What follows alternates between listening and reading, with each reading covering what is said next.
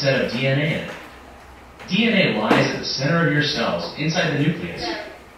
It's arranged in a spiral shape called a double helix, and it comes in long strands called chromosomes. Well, it's, it's not like that. Let's take a look at that double helix again. Each strand of DNA contains millions of pairs of molecular... We're still going to do it.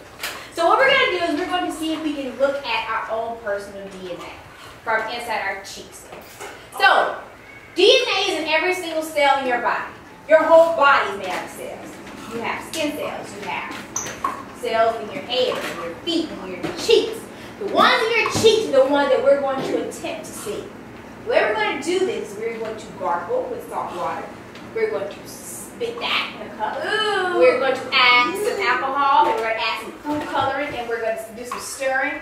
And hopefully, at the end of it, you'll be able to see these little things that look like lint or dots. And some people, yesterday I did it. It didn't happen today, but yesterday when I did it, I was able to even see a string and pick up a string from the cup, and it was dangling from a spoon.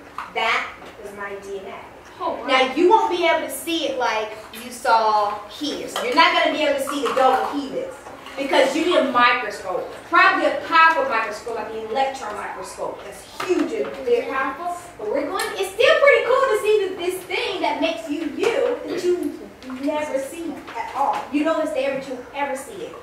And you're to see me. You're to hold your salt water in one hand. You're going to take the cup with the alcohol and you're going to very, very slowly pour it on top of your salt water mix. What do we do with this? You're this not food? going to st- give it away because you don't with spoon. You're not Just going to stir it. You're just going to quickly pour it on top. Yeah.